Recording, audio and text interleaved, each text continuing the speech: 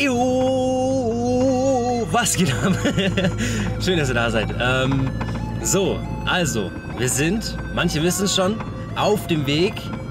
Es ist Samstag erstmal, ja? Heute ist Samstag. Samstag, oh, die Ampel ist rot. Ähm, heute ist Samstag. Der, ich weiß es gar nicht. Keine Ahnung, was heute für ein Samstag ist. Auf jeden Fall ist heute Samstag, ja? Ähm, und wir haben April, so viel weiß ich. ähm, auf jeden Fall, wir sind unterwegs, ja, mit dem. Sieht man, schwer zu erkennen. Ähm, wir sind auf jeden Fall unterwegs, ja, so. Und mein Auto, ja, mein Winterauto, meine kleine Winterbitch, die ist so ein bisschen kaputt. Bisschen. Sie klappert, muss ich sagen. Hört man vielleicht auch schon. Hört man das?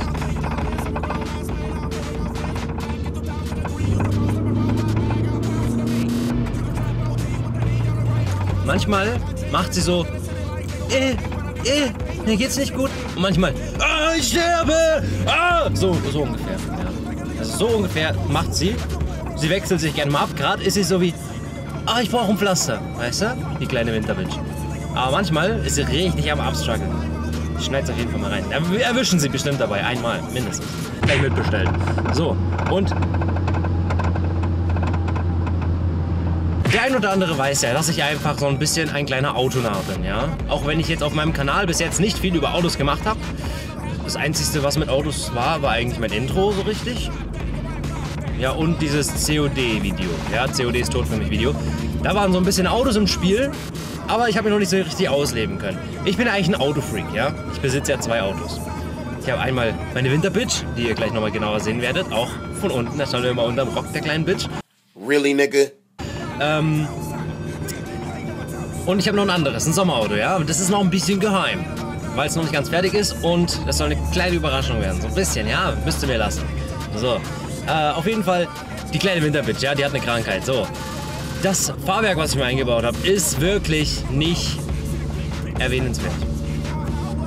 Also, ich könnte mich fast selber dafür Nacken klatschen, aber ähm, davor hatte ich ein Fahrwerk drin, das war von FK, ist auch nicht viel besser. Jetzt habe ich ein TA Technics drin, ja. Jetzt wird der eine oder andere denken, der sich da auskennt mit den Fahrwerken, oh mein Gott.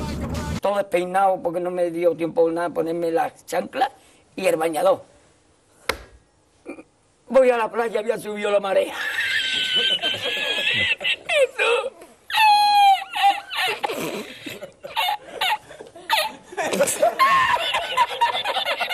Jesús. Había subido la marea y encontré una paella.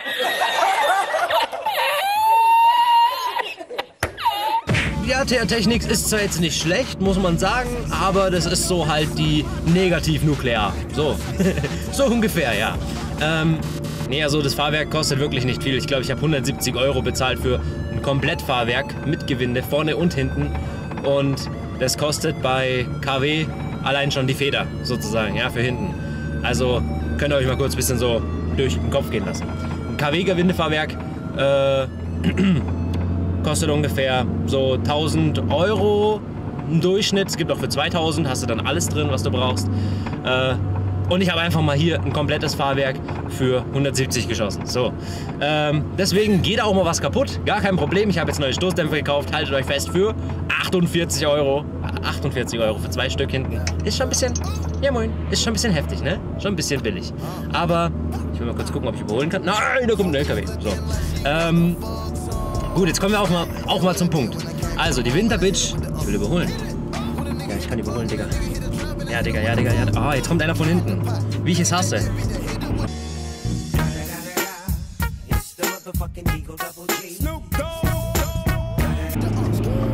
Jetzt überholen? Ja, Digga. Easy überholt. Ähm, also, jetzt fängt die Bitch bestimmt auch gleich an zu klappern, weil wir schneller fahren können. Äh, das Ganze ist jetzt so, ja. Wir kommen jetzt auf den Punkt. Meine Winterbitch ist kaputt. So. Und nicht kaputt.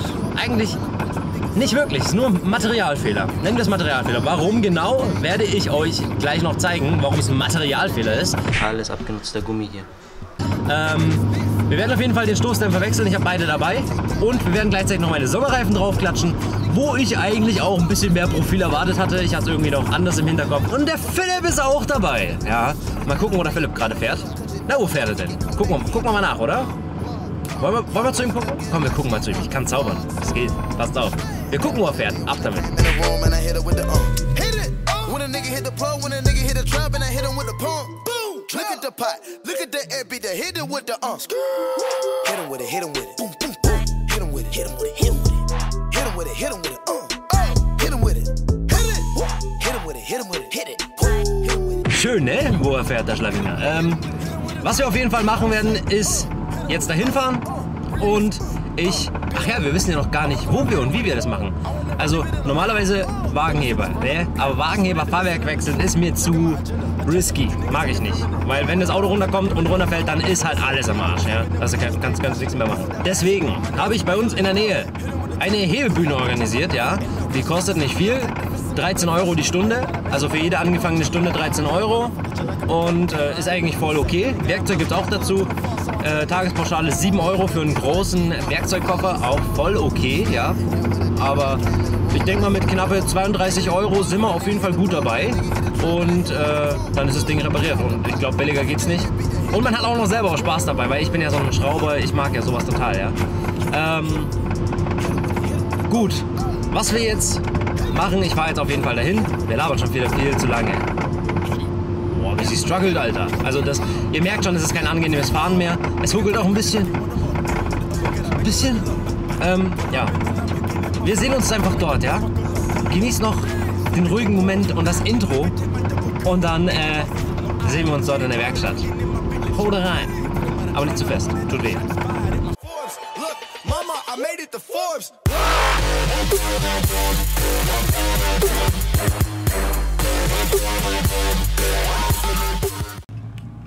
So, meine Freunde, es muss immer irgendwas dazwischen kommen, ja?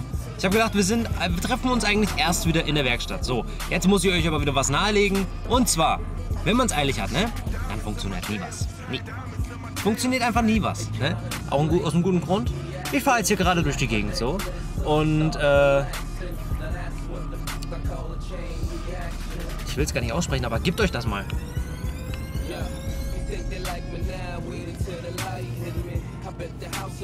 Stau. Stau, ja. Weiß nicht, was da vorne passiert ist. Unfall, vielleicht, äh, äh, äh, vielleicht ein Traktor, ein Bulldog, wie man uns sagt, ja, Bulldog. Äh, keine Ahnung. Aber jetzt fahren sie auf einmal wieder schnell. Oder schneller. Deutsche Straßen, ja. So. Ich würde sagen, ähm, ich hoffe, dass sich das jetzt gleich auflöst, weil ich bin schon etwas später dran, ja. Laut Navi komme ich eine Minute zu spät, weil einfach schon wieder 300 LKWs unterwegs waren und äh, ich nicht überholen konnte, weil dahinter fünf lahme Schnecken waren und mein Auto auch nicht so viel Leistung hat. Ja, mit 150 PS, 150, schön wär's. 105 PS kann man da nicht wirklich angeben. Ähm, ja, wir sehen uns in der Werkstatt jetzt, hier Schlawiner. Aber der Sound ist gut, ne? Ich weiß nicht, ob es rüberkommt, aber ich finde ihn gut.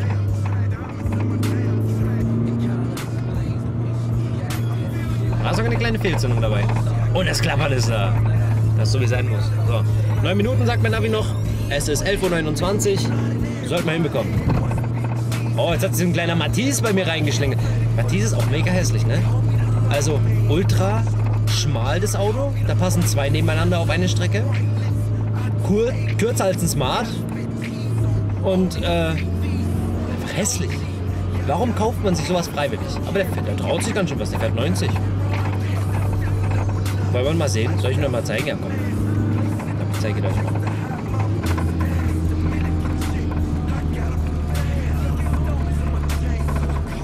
Schon klein, ne? Also, ja, ja gut. Ähm, wir sehen uns in der Werkstatt. Ja, wir sehen uns. Ich, nee, nee. Erst Stau, dann so ein Matisse von mir. Jetzt reicht's mir. Wir sehen uns in der Werkstatt. Bis gleich. Wir sind jetzt in so einer Mietwerkstatt, ja? Deswegen. Mit den Aufnahmen können wir nicht so machen, wie wir wollen. Wir müssen auch ein bisschen auf die anderen Leute achten. Aber ich denke, wir zeigen euch die Grundsachen, die wir hier machen, ja? Und den Rest erkläre ich Ihnen.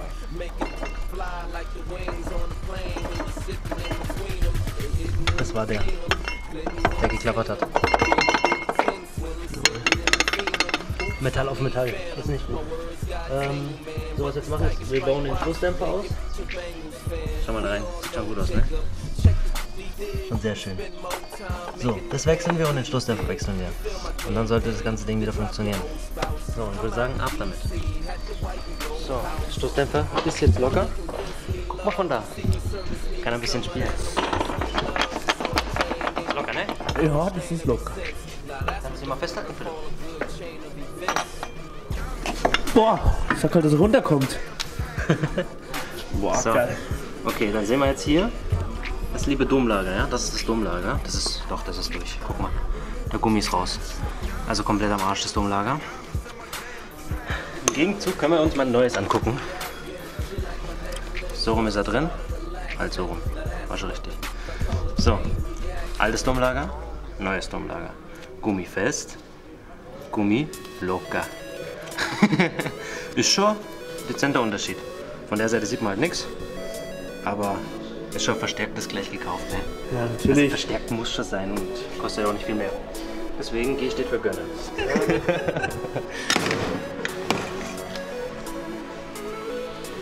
das war das Domlager.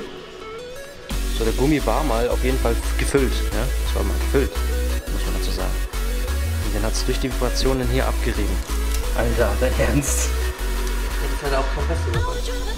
Die wäre auch was, aber Männer kriegen das auch so hin. Wir sind nicht umsonst Männer. Alter. Alter.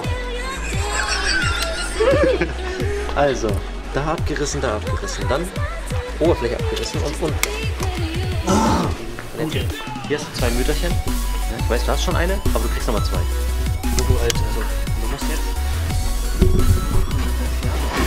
Ja.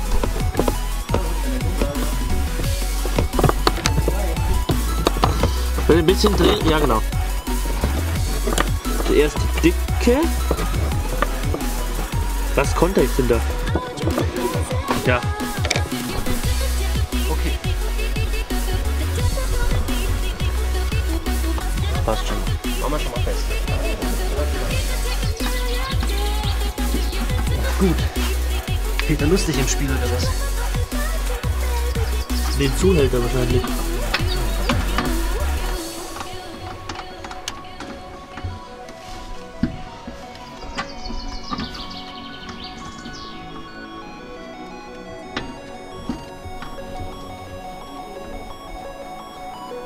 Ich glaube, jetzt habe ich ihn, ja. Schlawine. So dreckiger Schlawiner.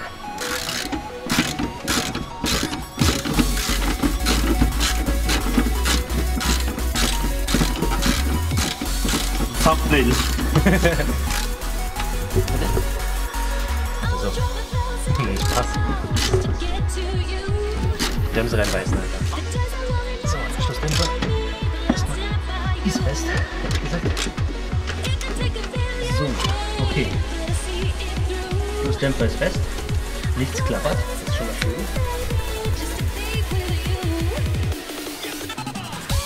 Äh, die Kontermutter, Philipp? Direkt da. auf der Box. Also, ich fühle mich gerade schon wieder echt geil. Ich könnte den ganzen Tag machen. wieder voll mein, voll mein Leben. Hast du das für den Partner? Ist schon, ist schon vorbei. Hast du das fertig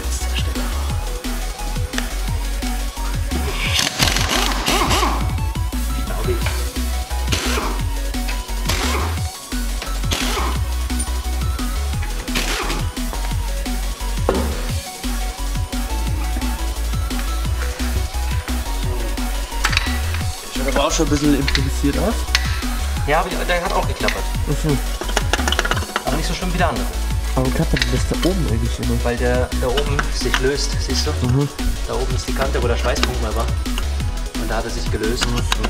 Und dann macht er sich ja, Verdünnerisierungsauftrag mäßig weg. In meinem Auto ist nicht aufgeräumt, das stimmt, ja. Ist aber auch. Also es wird alles jetzt gemacht. Ja. Bin, jetzt, bin jetzt wirklich dabei. Klar. Nee, wirklich. Aber ohne Scheiß. Habe ich mir jetzt echt vorgenommen so.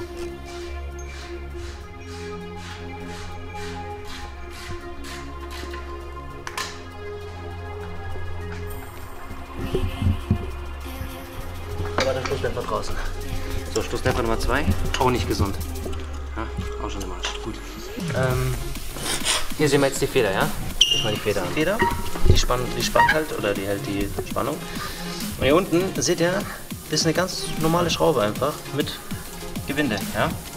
Und damit stellt man die Höhe ein. So simpel ist das bei dem Auto. Ja? Billig und gut, gut und günstig. Okay, das reicht wieder. Ähm, wir machen den Schluss dann jetzt wieder rein. Das ist doch Das alte Dummlager. Oh Gott, das geht schon gar nicht mehr runter. Aber man sieht schon hier den Gummi, ne? Schau mal. Alles abgenutzter Gummi hier. Total eklig. Ja, ja der Gummi jetzt komplett hier. Alter, das kannst du gar nicht erzählen. Tut mir leid, Sebastian, du bist schwanger. Das Der ist. Gummi ist vergessen. Der.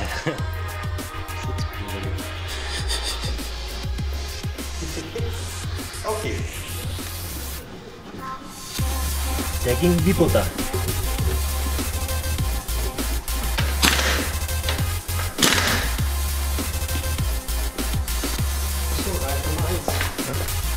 Meine Freunde, ja. Jetzt sehen wir mal hier das vordere Gewinde. Das ist die komplette Federstange ja. Hier haben wir die zwei Gewinde, also äh, die Muttern besser gesagt. Die erste Mutter ist, um diese äh, Vorspannung der Feder sozusagen herzustellen. Ja, diese untere Feder, hier ist die getrennt. Sehen wir ja ganz gut, das Silberne.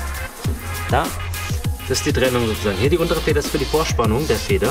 Damit kannst du die Höhe, aber auch Härte ein bisschen ein. Also die Härte nicht viel bei dem jetzt, aber ein bisschen macht das aus. Aber das ist hauptsächlich für die Höhe, ja, für, für die Höhe des Fahrwerks.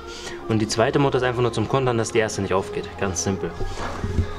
Ist zwar jetzt kein High-End-Fahrwerk, sieht man auch, aber ich meine, den Zweck erfüllt und ich muss ehrlich sagen, es war mein erstes Fahrwerk, was ich selber ein gutes Fahrwerk selber gemacht Da bin ich ganz stolz drauf, dass das so funktioniert hat. Und es war ein Act, das weiß ich noch. Ich glaube, ich habe um 11 Uhr morgens angefangen, oder um 10, zwischen 10 und 11. Ich weiß, wann ich fertig war. 2 Uhr nachts. Liege? Liegen. Liege.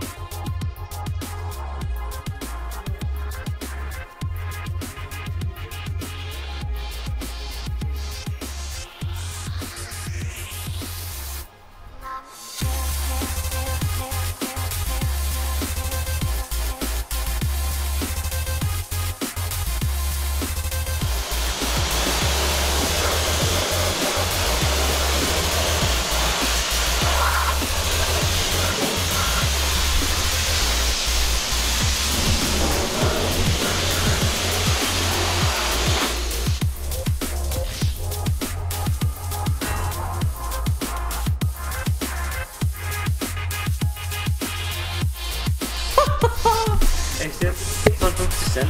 55 Cent.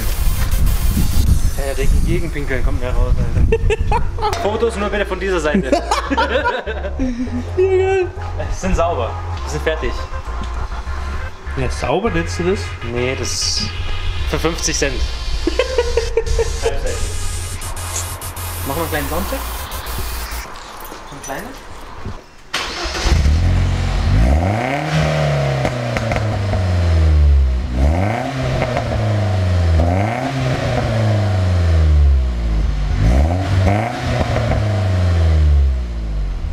Passt. Okay, Leute, ich würde.